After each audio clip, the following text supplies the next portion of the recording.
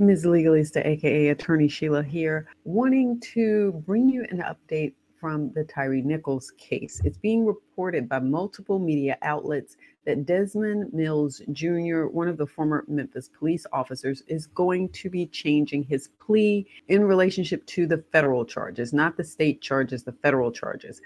So we can know what those charges are, let's go over to the Department of Justice's website and see if we can pull that up and go back over those because it has been a long time since uh, we've looked at any of this. All right, five former Memphis police officers charged with federal civil rights conspiracy and obstruction violations in connection with the death of Tyre Nichols. And I'm just going to scroll back down here. You remember Tyre Nichols died in back in January. And let's scroll down here to check out the counts were. So the first count you'll see here it says of the indictment alleges that the defendants aided and abetted by one another violated Nichols' right to be free from the use of unreasonable force by a police officer by assaulting him and by failing to intervene in the unlawful assault. Count one also alleges that this offense resulted in bodily injury and the death of Nichols.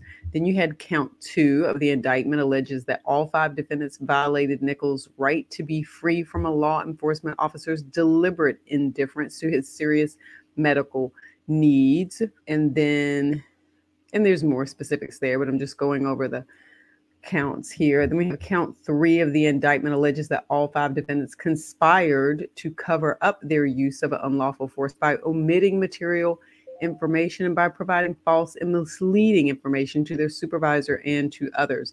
And you can go back and look at the previous videos that I did that goes over the decertification documents that were submitted. And in those documents, you can see what the officers stated in their report. And this is what's being used in the counts that are listed here.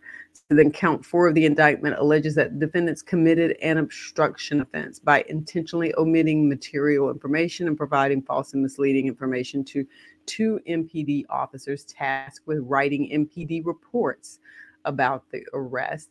It says counts one and two of the indictment carry a maximum penalty of life in prison counts three and four each carry a maximum penalty of 20 years in prison. So that's the update there. There is supposed to be a hearing tomorrow, and we'll hear from Blake Ballin, Mr. Desmond's attorney, about where things stand. And we'll have an update. Well, I guess if I get rid of that, we're supposed to hear from Blake Ballin, which is Mr. Mills' attorney the information that was released said that he was just changing his plea. Mr. Mills was changing his plea.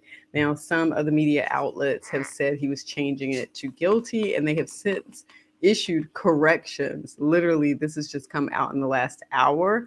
And so they're now having to go back and put correction in there. Uh, attorney Ballin has only stated that he is changing his plea.